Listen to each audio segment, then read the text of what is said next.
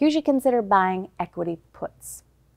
An investor who is very bearish on a particular stock and wants to profit from a decline in its price.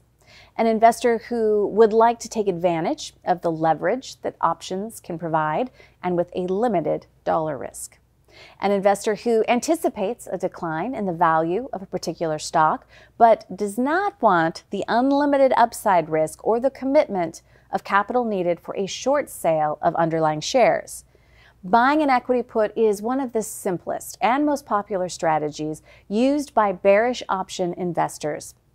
It allows an investor the opportunity to profit from a downward move in the price of an underlying stock while committing less capital compared to the potentially significant initial margin requirements needed from a short sale or an equivalent number of underlying shares, usually 100 shares per put contract. In addition, a long put holder is not subject to margin calls with an increasing underlying stock price, as is an investor with an equivalent short stock position.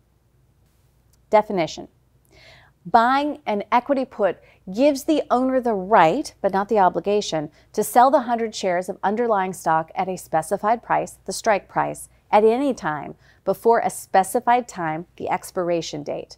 This is a bearish strategy because the value of the put tends to increase as the price of the underlying stock declines. This gain in option value will increasingly reflect a decline in the value of the underlying shares when the stock's market price moves below the option's strike price.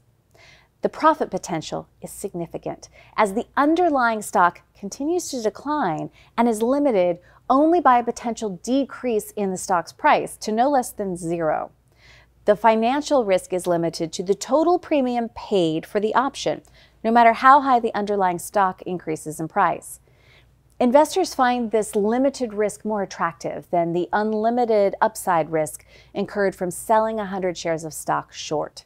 In addition, a short seller of underlying shares may pay any dividends distributed to shareholders while the short position is held.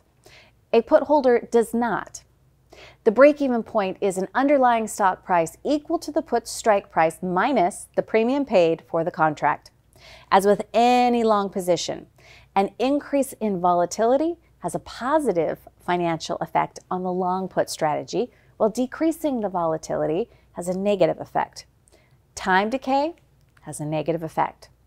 We would like to thank you for taking the time to watch the videos that we have put together for you today. Take a look and subscribe to our YouTube channel, our Instagram, our Facebook page, and reach out if you have additional questions. We would love to hear from you. Check out our website for more information. Go to www.optiontradersnetwork.com. Thanks so much.